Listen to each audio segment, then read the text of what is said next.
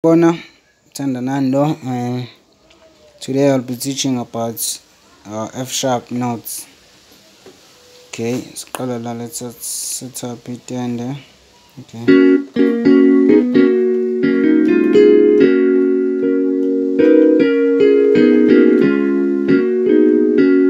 Okay okay ama ama notes hamba kanje si sharp kulo F sharp this is the first note second note this is the third note this is the fourth note this is the fifth note six. Seven. Eight. Nine. Nine. Eight. Seven. Six.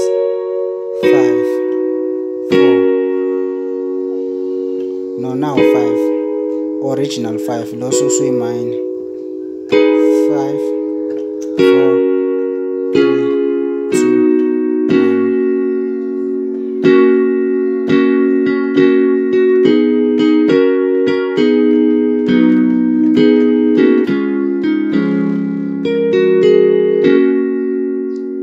That is u-C sharp ulo F sharp.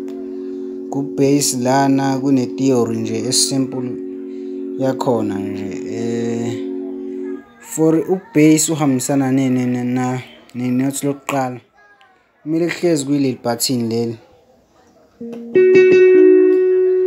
Button osulichiphazela ekugcineni kumele lifane nalo button of uh, of which is kuzoba yileli noma ileli noma ileli. Okay.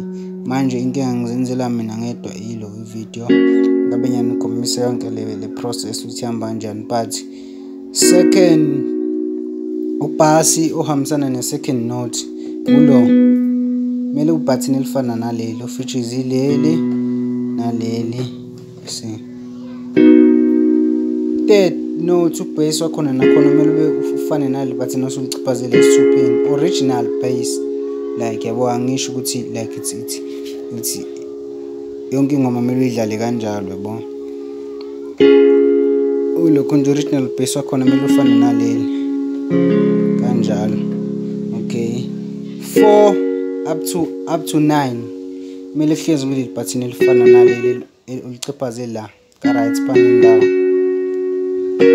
ileli 5 ileli 6 ileli 7 ileli 8 ileli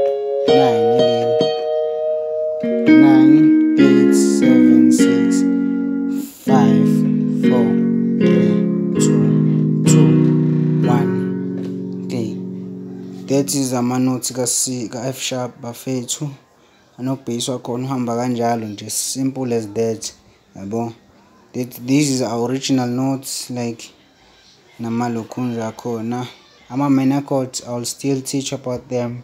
Phansi kwamanje ungabe ufunda ama amalokhunja ama-notes first. Ufunda ama-notes ka-C ka-F sharp first.